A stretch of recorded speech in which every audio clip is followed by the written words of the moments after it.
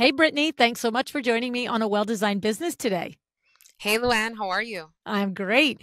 So I'm thinking about this conversation and you know, because you listened to the show and you did the intake form in order to be on the show. And you said, I asked everybody, you know, what do you suggest for your title? Not that I listen to you, by the way, all the time, but I do want to know what you think. um, we have to make titles for SEO. You have to understand that. We can't make them for the pretty. But I like to hear the way your brains think and what you think the focus is. And you shared that like curating your design business, right? As a like there's a there's a what you do as a designer is curate the designs. But you've learned in your five and a half years in business that you need to curate the business part too. So talk to me. What does that mean to you? Why is that a choice, a turn of phrase that you chose to share with me? Absolutely. Um, well, first, you know, thanks for having me on the show. You know, as I mentioned to you before, I'm a huge fan and I've been listening to you for the last four years. Um, and it's been such a crazy ride. Uh, you know, Luann, when I was in design school, um, you know, they obviously teach you the ins and outs of the technical drawings and the 3D renderings and all the things that you need to do in order to execute um, a design project. But to what it is to be a true entrepreneur and to be a business owner, you know, and I think as I listened through all your podcasts, it's just been so enlightening to listen to everyone's stories and, you know, from the size of their team to the types of projects that they work on and the types of vendors that they work with and and yeah i think it's just as important being a business owner as it is to be a good designer and being able to run a successful interior design business um, you have to have both mm-hmm. so i'm excited to share a little bit about that today yeah, yeah, I agree. You know, you guys, you know, we're cut from the same cloth here because I expect you to do the pretty, but it's very difficult to create a business that's sustainable, that will attract repeat and referral clients if you cannot deliver on the experience and on the process, right? At the end of it, everybody pretty much gets to a pretty room. But if getting to that pretty room or building or space or whatever it is was painful and complicated and felt like a, you know, chaotic journey, then that's you're that's not going to be a referable client, right? Absolutely. And I think too is, you know, when we onboard a new client, you know, the types of projects that we work on, they take anywhere from a year to three years to complete. So, you know, we're in a relationship with these clients for, you know, long periods of time and we become essentially an extension of their lifestyle. So, if there's a lot of friction there, then it's not going to be a, a, successful experience and it's not going to be a successful project as beautiful as it can be. And, you know, mm-hmm. that's something that I express to my team is, you know, we can make a room look beautiful in a hundred different ways, but how can we improve that process so that clients, you know, can speak about us from the standpoint of, you know, we love working with them. They were so much fun to work with. Um, and yes, our project and our home is absolutely stunning. Right, right, right, right. Now, what's interesting is that, as we mentioned, five and a half years in business, you have already hired uh, several of the professionals that you've learned about from the podcast. And I, you know, so Stacy Davidson does your accounting and does she work with you? Well, tell me the name of this is horrible that I can't remember the name of this, but something behind the design, everything but the design. Yeah, everything but the, the but the design, exactly. Um, yeah, yeah Stacy's amazing. Um, you know, I've been working with her for almost a year now.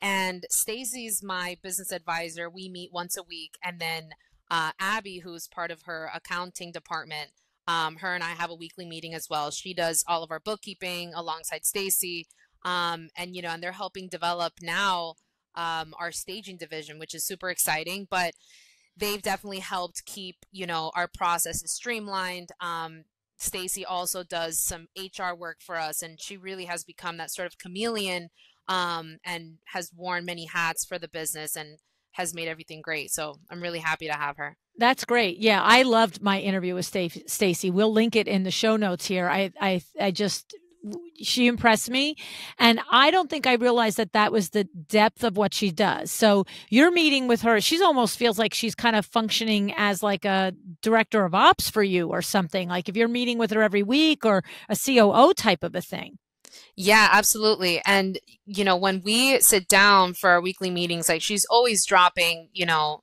some nugget there for me. And that, you know, that means the next day I'm coming in to the office and I'm like, girls, we're going to change the way we do this and we're going to do this this way. And everyone's just so excited to always, you know, improve on our processes. And that's my main thing is I want everyone in the office to, um, you know, to do what they're doing um, at the optimal efficiency level, but then also, you know, that translates into the client experience. So it's been great. Yeah.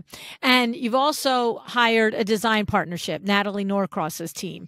And so that's a PR firm. And what are you working like? That's that's unusual that that young in business to have the content for a PR firm, to have, you know, so tell me about that experience. Yeah, so it's it's funny. I actually hired Natalie um, before I hired my first assistant. So wow. she was, yeah, I, you know, I was really fortunate early on um, to have had the opportunities that I had. And then, you know, also just um, at, at the time I was working a couple different jobs. I was working two serving jobs. I had a, a real estate job and, um, you know, and then I was also going to design school and then starting my own business. So I had a lot going on at the time. And when I reached out to her, um, you know, through finding out about her through the podcast, I I had content from projects that wow. I was like, you know, I have these beautiful photos. I'm posting them on Instagram, but I know that, you know, there's so much more potential um, for this content. So, you know, when I reached out to her, um, I just I identified early on that I was, you know, um, like I said, lucky enough to have these opportunities, and I knew I had to capitalize on that. So Natalie has been with me for a while now, and she's gotten us, you know, press um, everywhere from Architectural Digest to the Wall Street Journal to local wow. press. Wow. And it's, you know, I, I think that really, um, you know, early on boosted our credibility and people were really recognizing that we were working on big scale projects. And from far, you would think at the time I had this big team and that yes. I had this whole infrastructure and I didn't. It was really just myself. And, um, you know, my, the last project that I did, on my own was a 10,000 square foot house. And once I got the photos back from that project, that's when I knew I needed um, some help. And and that project ended up uh, being shortlisted on HGTV for Designer of the Year in 2022. Wow! So so yeah, Natalie, funny enough, was one of my my first hires essentially. Wow. wow. So the thing about the reason that I brought this up, and in addition to admiring these two women in their companies and wanting them to get a little bit of a shout out here, um, but the reason I brought it up is because you know it had to take a lot of guts to make these financial investments at this early stage in your business, and I think I want to know about that. I want to know about that mindset of saying, I'm going to do this. But I also want to know the practical of it. So, for example, when you're telling me that you are hiring Natalie and you're still with two wait jobs, serving serving jobs and a real estate job, you know, you're not even full time and you hire a PR firm.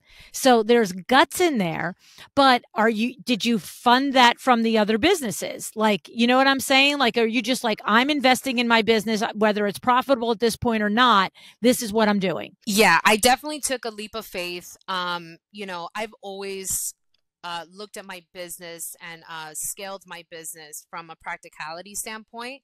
And, you know, I have these uh, I guess like I'm, you know, 50 50. One side of me is very free spirited, very passionate about what I'm doing, and I'm just very creative, right? And then the other side is the business side. So I'm like, okay, you know, how much is this really going to cost me at the end of the day? How long is this, you know, going to last? Like, what if, you know, I'm not profitable? What if I don't get more projects from this? Like, what if, you know, PR looks great and it sounds great and it feels great, but what if this doesn't bring, you know, the revenue that I'm expecting.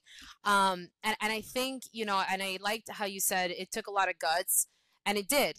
And, you know, to this day, a lot of what I do does. And yeah. um, I, I take risks, um, but I, I have faith in, in what we do, and I have faith in, in what um, I was doing on my own at the time but uh, to answer your question yes i was funding the business from my other jobs yeah um, until i could get you know these um, you know bigger jobs that were paying more and you know, obviously, like every other designer, when I first started out, I wasn't charging what I'm charging now. Mhm. Uh, you know, I look back at what I was charging before and I just cringe because I'm like, oh my God, those like sleepless nights and all the time that I spent on site, you know, and, um, you know, charging these flat fees when I should have been charging hourly and uh, that whole thing. Um, but, but yeah, I, I really, I took the risk and, um, and it's really paid off. And, yeah.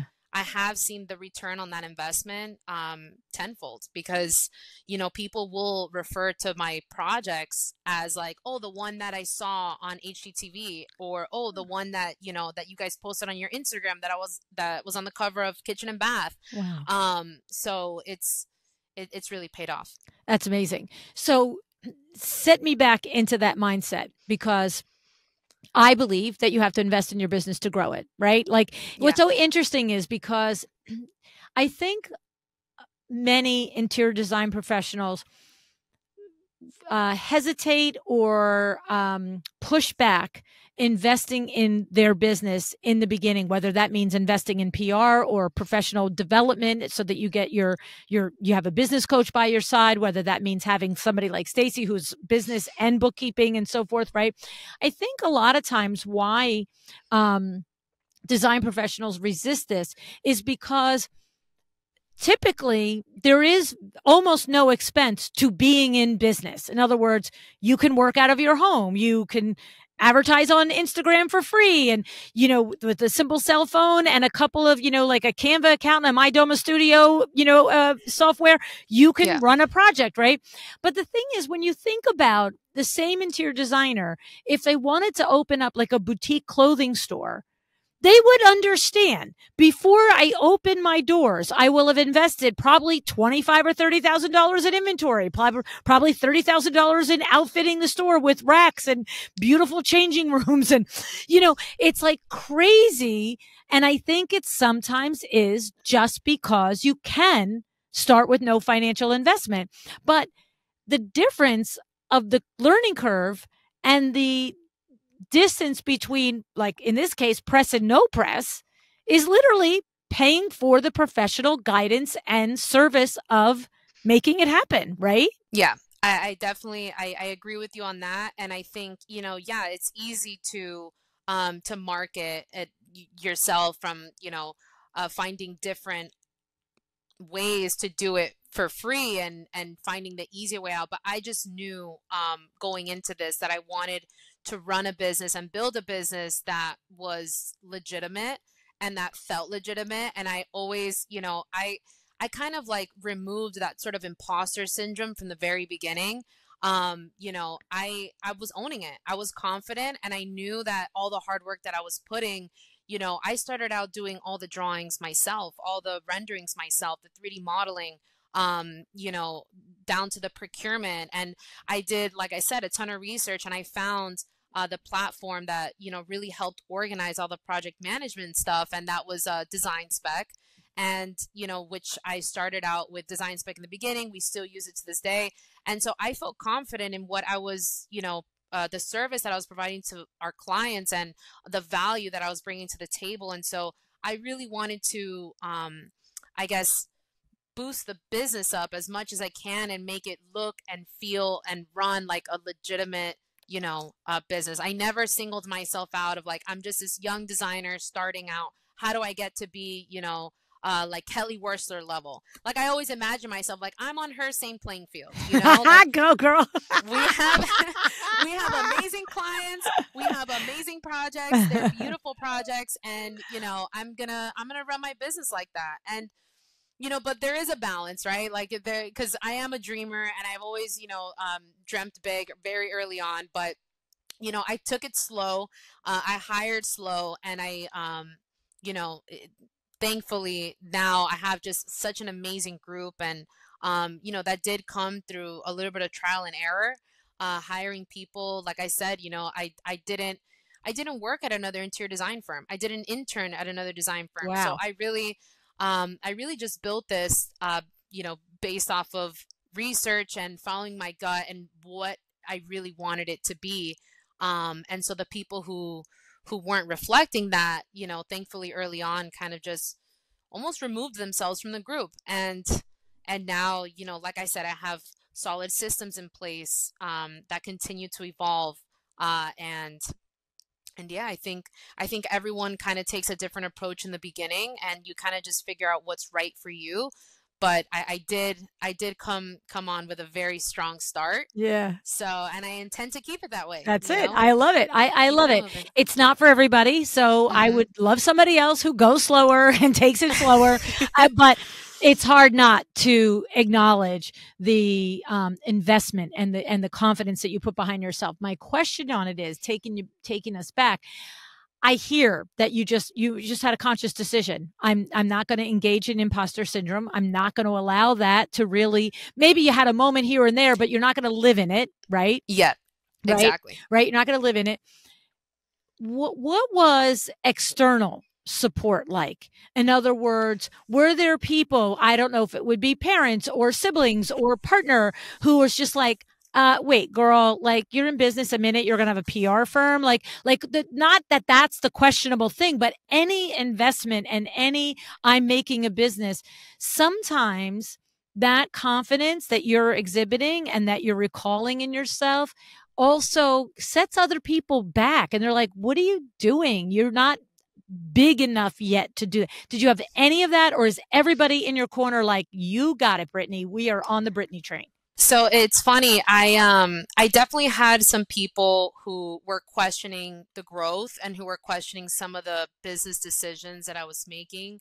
Um one of my professors, uh, I'll never forget this. You know, I it was my second job that I had and I was still in design school and he you know, I was like, look, the schoolwork is like piling on. I I'm literally coming to class like after leaving one of my jobs at like five in the morning. I'm showing up at eight in the morning. Like I'm a zombie at this point, but I was getting it done. And I asked him one day, I'm like, look, I have this project and it's a big project for a really you know um, big client who's very well known in miami and i need to submit these closet drawings to the contractor tomorrow I'm like, I know this is an AutoCAD class and we're, you know, focusing on this case study project, but can I please just, I'm like, can you please just let me draw this Can I do my project in class and count it as homework? yes, that's exactly what I asked him. And he looked at me and he was just like, I don't know, like what makes you think you're so special? You're like here thinking you're gonna run your own design business. And he kind of told me he was like, you know, you you're you're too young, you're too oh, green, you oh, can't really do this right now. You're not ready. And I kind of was just like, wow, you know, I left school that day and I was like, I, was just so discouraged, Aww. not from running my business, right? From finishing school, from finishing like, school. I'm like, look, I'm try- I'm here trying to do the right thing, okay? I'm trying to do the right thing on paper. You're not letting me. Like, we're gonna hit a wall. So um so yeah you know I, I, had some people that uh, you know and and also outside of school too you know i had um some of my my mentors um you know who i had met honestly luann through working in hospitality through um you know uh, working in real estate i had people who were like you know there's I, think you got to get a couple more projects under your belt. I think you got to do, you know, X, Y, Z first, and then maybe you'll be ready. Um, but then I also had a ton of people who were like, this is really special. Like mm. what you're mm. doing right now is very special. And there's just not that many people that I know at your age who have these opportunities and who, you know, are willing to put in the hours and really like learn the trade mm. and and do this you know i never outsourced one drawing i never you know asked anyone for help i was just like i'm gonna do this and i'm gonna do this the right way um you know so I just I listened to those people, you know, the people who I knew wanted the best for me and um you know, and on the marketing side, a lot of people were were um you know um encouraging it. They were like you you got to get out there. Yeah. You got to get out there and you know, I also had um you know, some of my very close friends also help me with that as well. You know, they had great connections in Miami. Miami's a place for networking, you know, yeah. so it's like, you know, one person, they know the other, and the next thing you know, you're like in this big circle. So, you know, I was just fortunate enough to, um, you know, to meet all these people very early on and, um, and yeah, and I think you know that it's it's just gonna be like that. You know, you're gonna have people. I think no matter what industry you're in, you're gonna have people who are on the sidelines, like questioning, like what you know, how are how are you doing what you're doing, and how are you getting there, and how do you know these people, and asking all the questions. You just gotta like you know ignore all that. Yeah. You know, the haters are gonna hate at the end of the day. so I, I I just love it. I love um I love your belief in yourself. You know what I mean? It's it's Thank the you. thing. It's a differentiator. You know, we can all get there eventually, but the sooner we believe in ourselves and the sooner we understand that there's something in us worth believing because there is something in everyone, right? Like nobody has the market on you are you are deserve this or you can do that. It's it starts with us claiming it and saying, This is what I'm doing. I believe in myself. I'm going to invest in myself. I'm going to do all the good things, listening to free podcasts, but investing in professionals, right? Like you didn't just like yep. buy everything. A lot of it learn by learning, right? Yeah. I just think it's outstanding. So here's my question. I'm almost afraid to ask. What's the five year plan? like world domination, like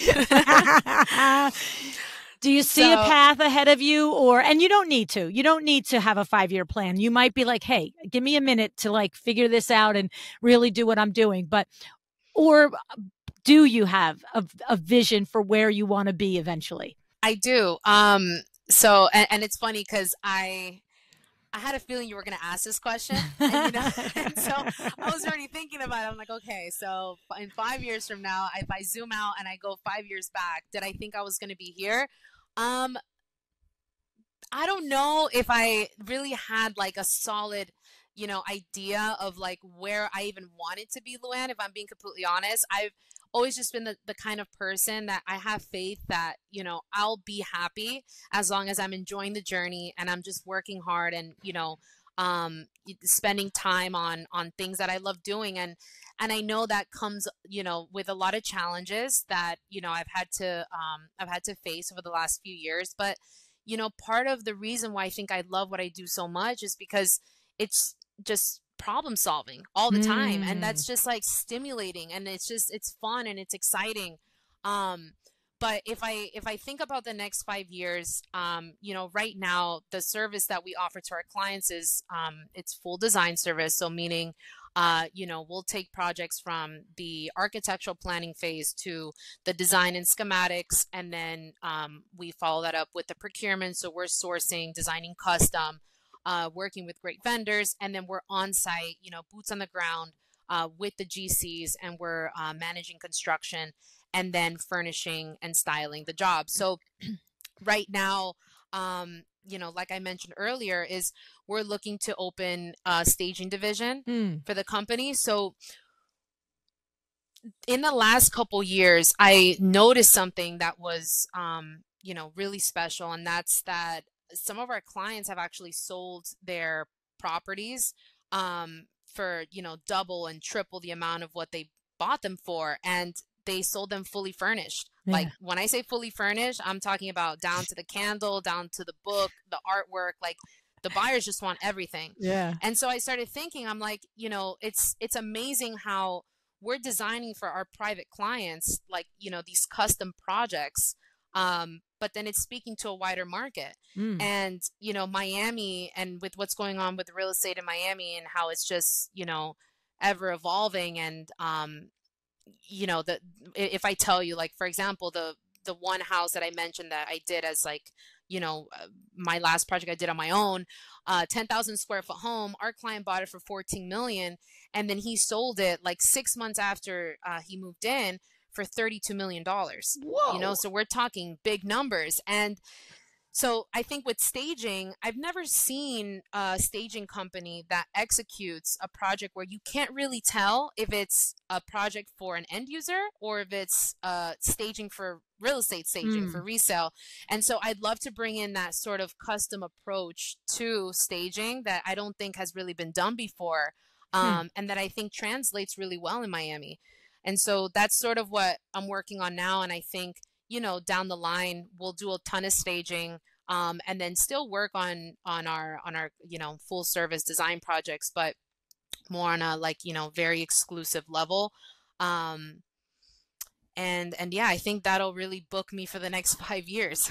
Well, and it's funny because you need, I, I mean, I, I don't need to tell you, you know it, but staging is a different animal. It's a whole Oh, yeah. different animal. Yeah. Oh Yeah. yeah. You know, it's faster, it's all the things. And luxury staging is, is, is crazy. I mean, we've had um, conversations on the show about staging. I remember in New York City, I met Cheryl Eisen. Um, are you familiar with her work?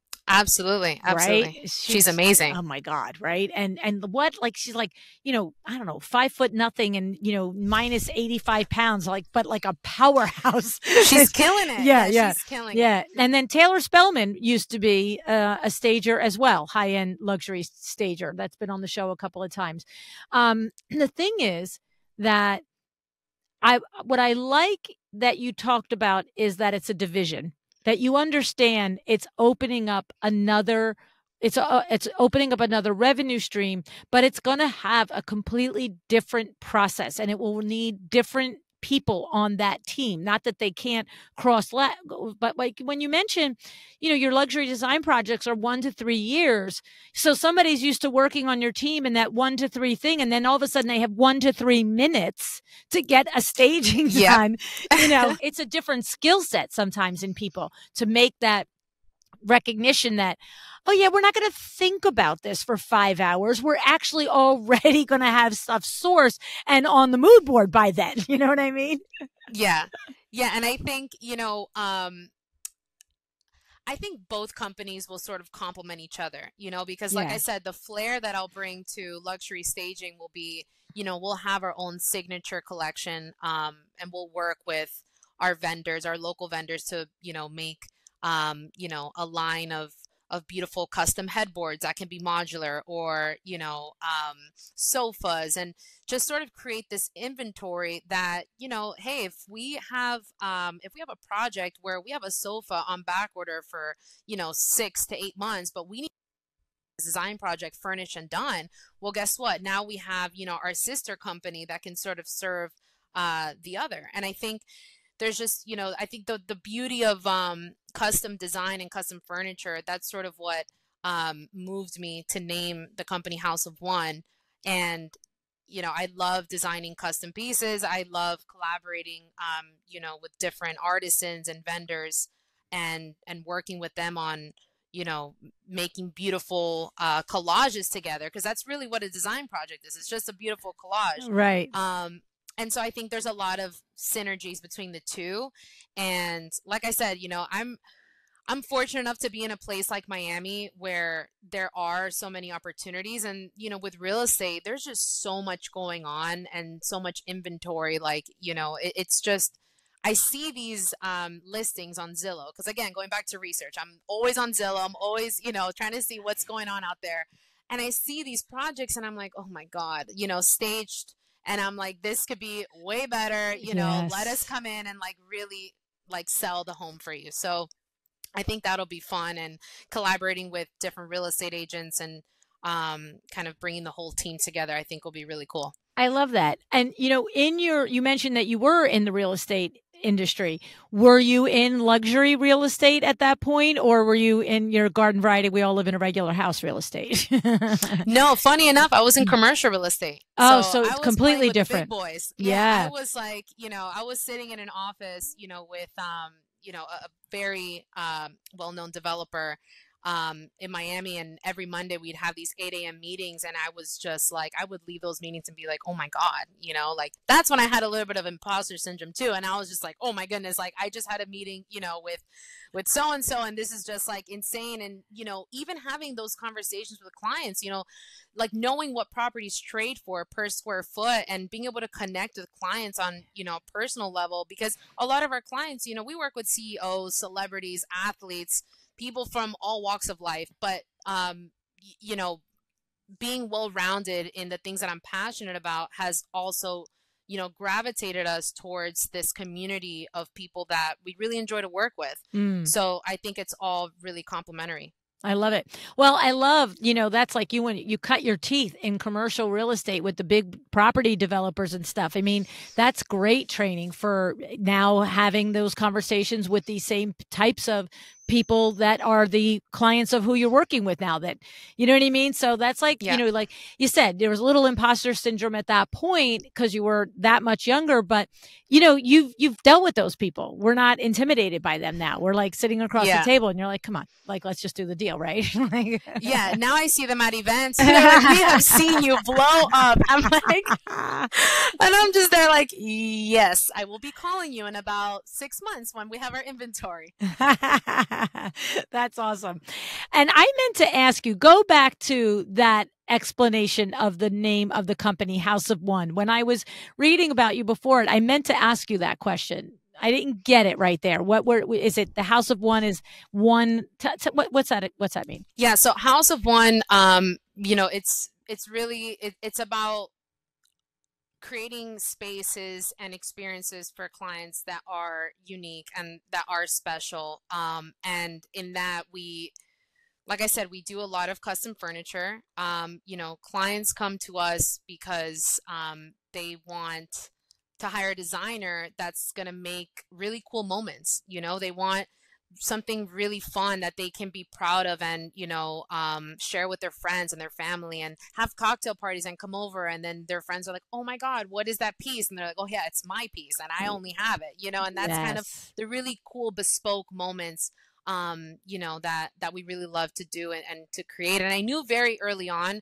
i was not going to be the designer and i'm not you know talking uh, down on any designer that does like living room designs or bedroom designs or you know sticks to one aesthetic but i knew that i, I wanted to be a little bit more broader than that and i wanted to design um, you know uh, projects that were just I, I, think a lot more layered and a lot more complex. Mm, interesting. I love it. Very cool very cool.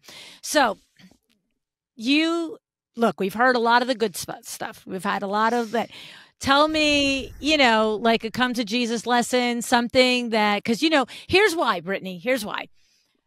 Think about yourself listening to this podcast four years ago you are one year in business and you hear Brittany and Brittany has got it together. She like has her confidence rolled up. She went out and hired a business, you know, manager. She hired a, design PR firm, you know, and somebody listening could be like, well, and, oh, and she, she talked her professor down. You know what I mean? By the way, did he let you do that, the closets for that project? He didn't. Ah. I'm not gonna say whether or not I failed or passed the class, but yeah, he did not let me do that. You see, that's just like, come on, dude, be in the real world for a minute. Like, I gotta yeah. say, I just feel like I don't know. I shouldn't talk out of turn. I've never taught a design class. I've never taught any darn class, you know, at that level.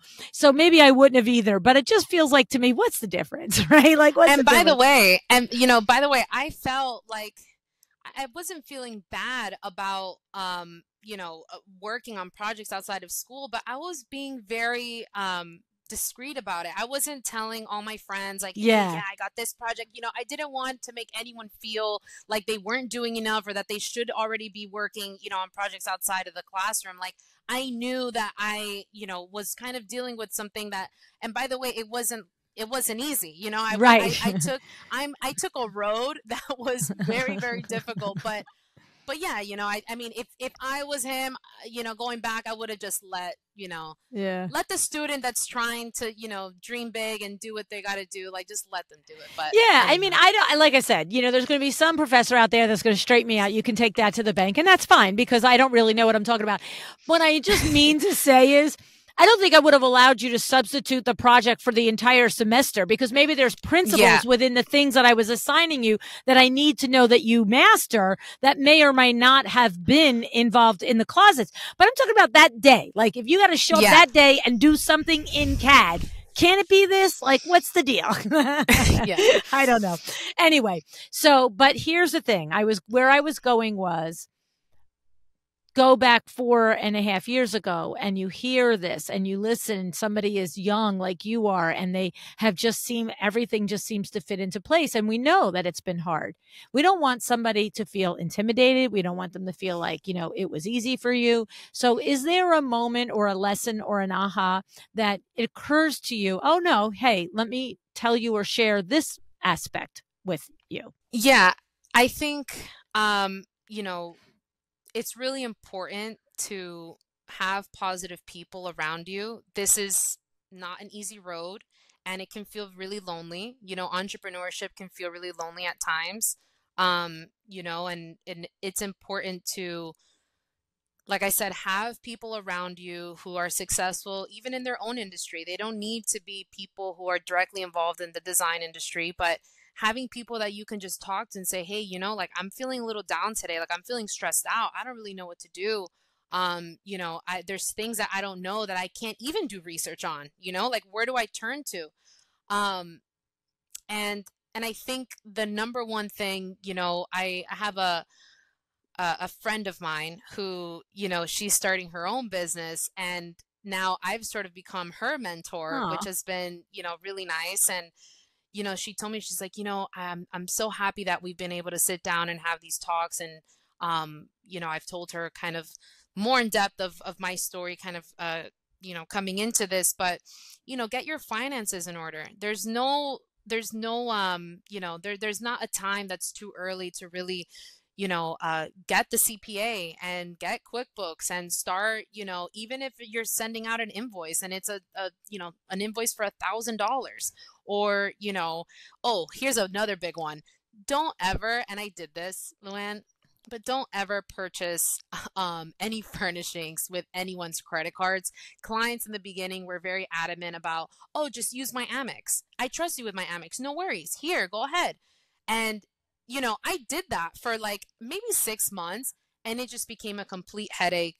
Um, you know, don't ever uh, take anyone's, uh, you know, uh, credit cards and things like that. Always purchase everything through you. If they want to purchase things on their own and your business model starting up is not to, um, you know, purchase any furnishings with markup, then sure. But, um, you know, I, I would say don't do that.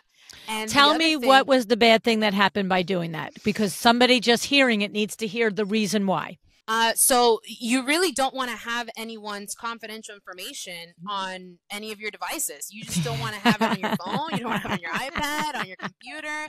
iCloud is a scary place, you know.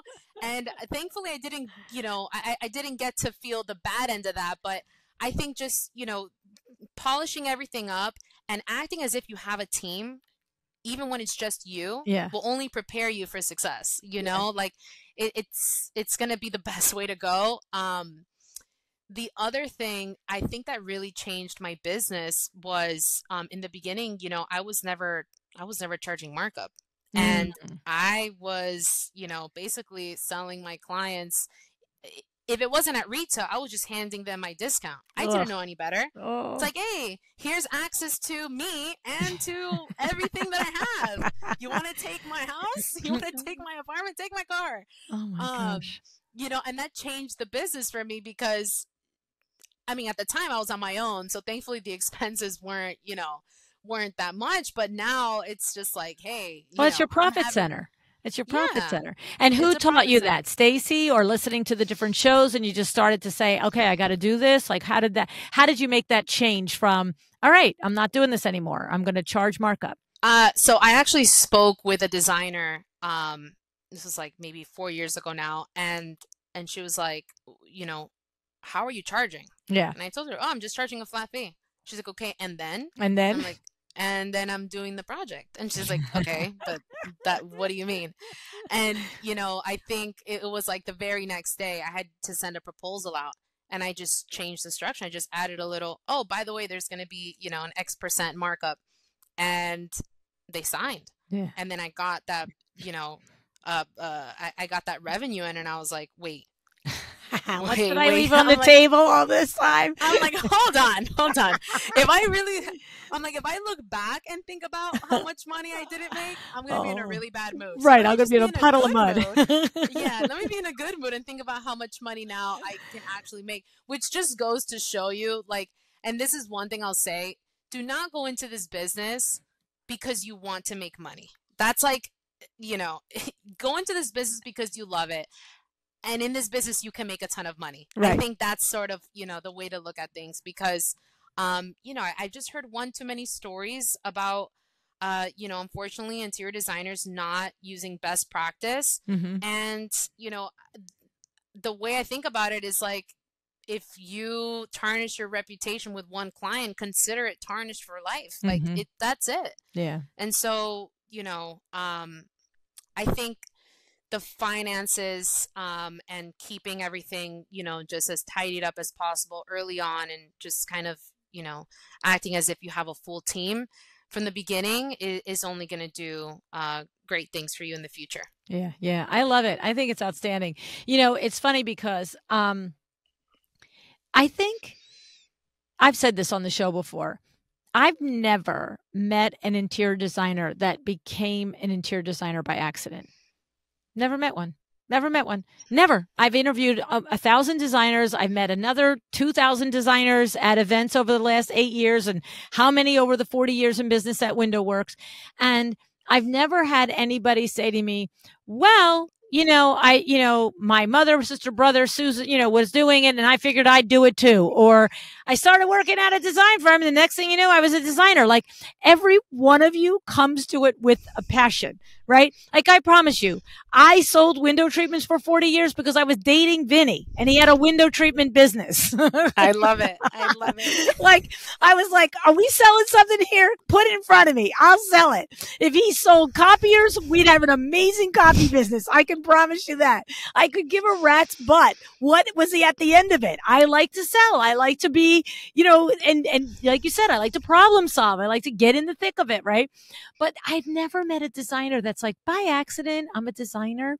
And so your point is eh, to me, the nuance of your point is well made. It's like, get into it because you love it but then figure out a way to make it profitable so that you can keep doing what you love you know what i mean it's Yeah. just it's kind of like like being a doctor like are you a doctor by accident? Like i don't know it's kind of like really hard to do and that's the same thing with being an interior designer it's so hard to do that you just don't like well i'll just do this as well as anything else. It's just too hard and i do think you need to have that passion attached to it but you know it's my mission that everybody attaches profit to it so that they can do it for as many years as they choose to do it they don't just say oh i love to do it but i can't do it anymore because i can't make a living at it you know Yeah.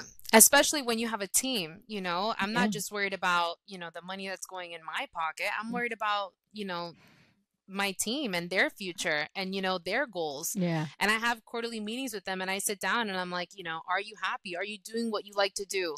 Uh, you know, what how can we sort of shift you? Do you want to focus on designing custom furniture? Do you want to focus on how can we make you, you know, work more efficiently, be happy so that the end result for our clients and for the projects are, you know, at a hundred percent.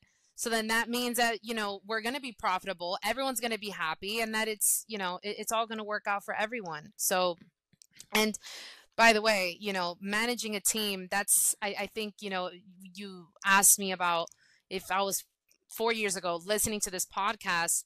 Um, I think one of the things that I, I really didn't prepare myself for was managing a team. Mm. And that, you know, think about when you're growing up and you're in school and you have your group of friends. You get to pick your group of friends. And if you don't like someone, great. Okay, fine. That you know, you find your own little group of friends. When you own a business and you have a group, you know, of different personalities, you can't just fire one because you don't like their personality. You got to go through all these layers and all these, you know, like steps in order to figure out like, you know, what's really going on and and you know, how can you help people sort of be the best version of themselves that they can be and if they don't want that for themselves or they don't see that for themselves with you then that's okay you know but i think um you know figuring out how to manage uh, a team is is also really important to think about if you want to hire you know Right. because there's people who there's designers who do very well with outsourcing and they're just doing it on their own and maybe they're not taking on 15 projects at a time you know they only want to do maybe two or three and they're doing great Well, I love it. And the thing about it is, is, you know, you're, you're right. It's no joke managing a team and hiring and all of the things. Um, but it starts with understanding yourself well enough to know your strengths and your gaps so that you hire around those, you know, for your gaps and things like that. And then also having your mission and your vision for your company so that you're hiring within that mission and the culture of your company. And that's like that next level of um, informed hiring and of um, becoming more of a conscious hirer and not hiring just for the skill set in front of you, but really understanding that you're hiring the human, the culture, and how it fits, how that person fits with the rest of you.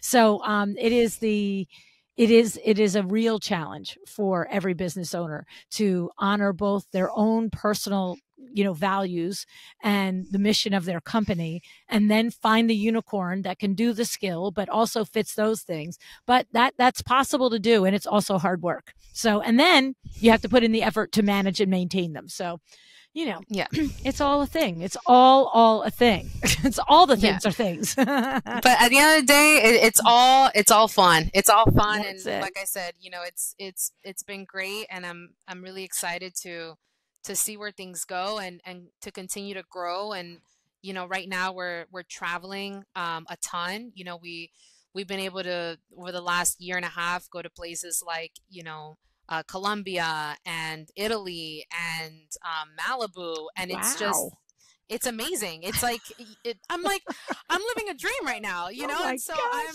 you know I'm happy and everyone's happy, and you know there's obviously little nuances here and there, and we continue to you know to try our best to elevate. Um, but but yeah, it's good for you. Good for you, kiddo. I swear progress. to God, that's awesome. I, I, you know what? I don't know how many years I'm going to do this darn podcast, but if I'm still here in 10 years, I want to interview you again in 10 years. I want to see what the heck you did because this is like going to be a rocket ship ride. so that's awesome. Thank you. Thank you for listening to the show for all these years. I appreciate that. And thank you for wanting to share your story on the show and helping, you know, the, the ones that are behind you understand that, you know, it can be done. We have to make some hard decisions. We have to have belief in ourselves, but it can be done. And I appreciate you for showing up, Brittany, and sharing it today. Thanks, Luann. I appreciate you and your platform. And, you know, I hope that anyone who listens to this episode or any other episode just, you know, understand that you have a real gem right here and you've been able to help me and so many other people. So thank you so much. Oh, thank you.